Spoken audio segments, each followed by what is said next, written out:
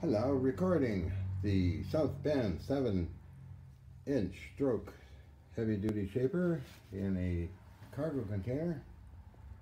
Totally complete, all original, with tooling in the drawers. Can't get through the drawers because I have a lathe here that tipped over.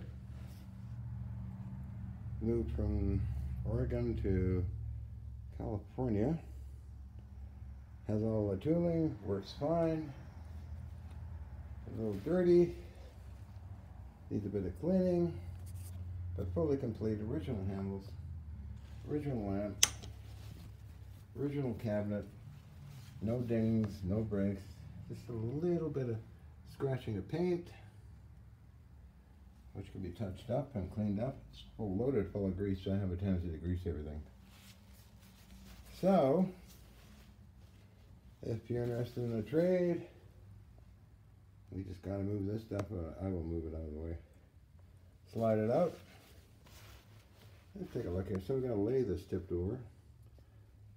And then back here is another shaper, bigger one. I have no idea what it is. I'm trying to get some light on it. I think it's about 10, 10 inch stroke or one foot extremely heavy base on it. Real oddball thing.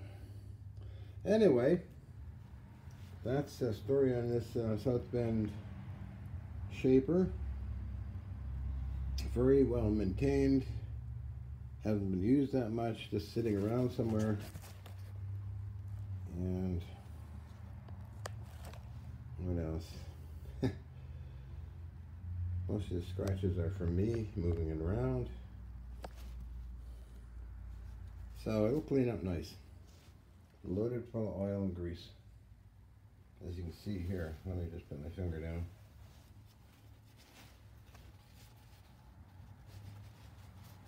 And I use Vaseline on these things too. Okay, guys, take care.